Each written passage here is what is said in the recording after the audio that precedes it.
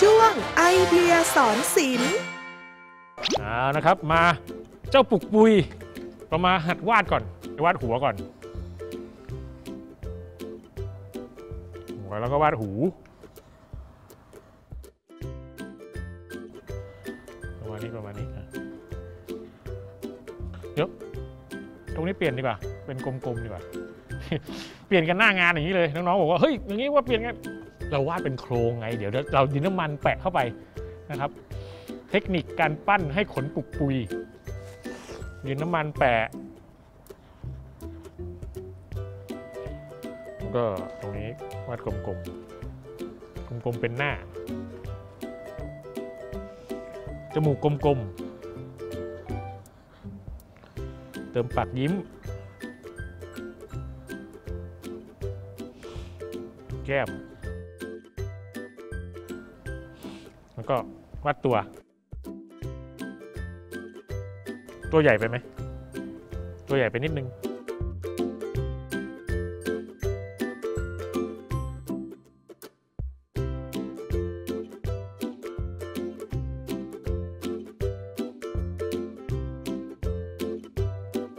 อะประมาณนี้ละกันนะครับหมีของเรานะครับ จริงๆมันก็เป็นคล้ายๆกับกึ่งๆ เป็นตุ๊กตาหมีนะเนาะ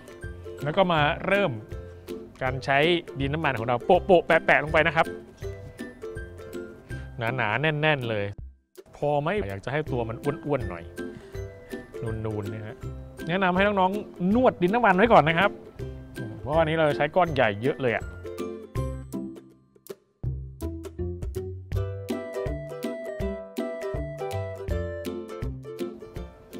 ช่วยนิดนึงตำตำ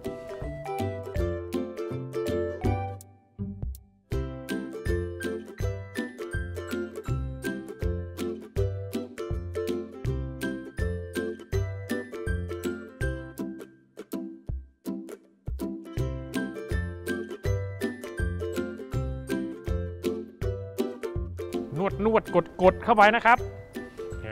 เรียบเนียน ประมาณหนึ่งตอนนี้มันก็ยังเป็นหมีตัวขรุขระอยู่นะฮะยังไม่ได้เป็นหมีขนปุยอ่าต่อมาพี่จะเอาสีครีมนะครับหรือสีไข่ไก่ตรงนี้มาใส่หน้า สีดำปั้นเป็นกลมๆแล้วก็จุด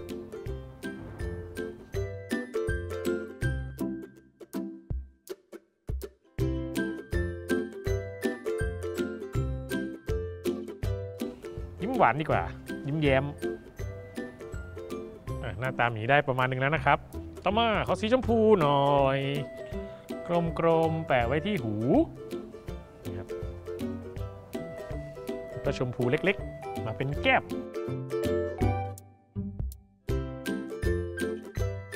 ตรงพุงกลมๆนูนๆหน่อยนะครับ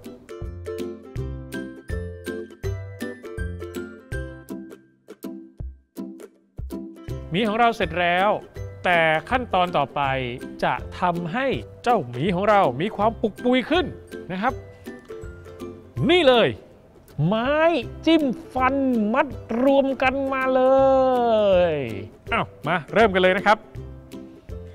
จิ้มจิ้มจิ้มจิ้มแล้วให้เป็นขนปุยปุยปุยปุยพี่ตดเริ่มจากหูตรงหูนี่ก่อนเลยนะอันนี้อาจจะขออนุญาตคุณพ่อคุณแม่นิดนึงนะครับ ขอมาใช้เป็นอุปกรณ์ในการทำชิ้นงานนะครับแต่ว่า แนะนำนะครับ น้องๆ จับดีๆนะ มันมีความแหลมคมนะตรงนี้เนี่ยจิ้มซ้ำๆเข้าไปที่เดิมมันจะพรุนพอพรุนพรุนปุ๊บ มันจะเริ่มปุย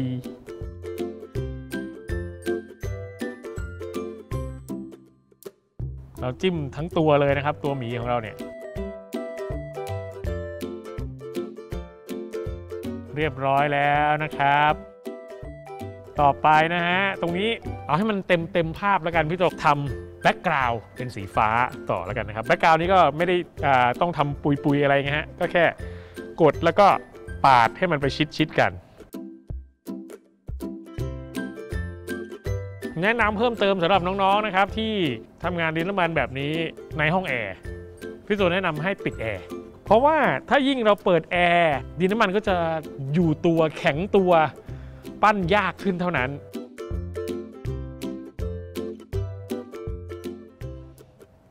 เสร็จเรียบร้อยนะครับ ตุ๊กตาหมีขนปุกปุยนี่นะฮะอยู่กับแบ็กกราวด์สีฟ้า สดใสแบบนี้เนี่ย ถ้าเกิดสมมติว่าเราอยากจะให้มันปุกปุยมากกว่านี้ อาจจะจิ้มเพิ่มเข้าไปนะครับ จิ้มด้านข้างให้มันแบบตรงขอบของพี่โจเนี่ยยังเป็นแบบมนๆอยู่ แต่ถ้าเกิดเราจิ้มเพิ่มเข้าไปอีกมันอาจจะปุยปุยๆออกมาบนสีขอบสีฟ้าๆตรงนี้นิดนิดนึงอ่าให้มันเห็นขอบ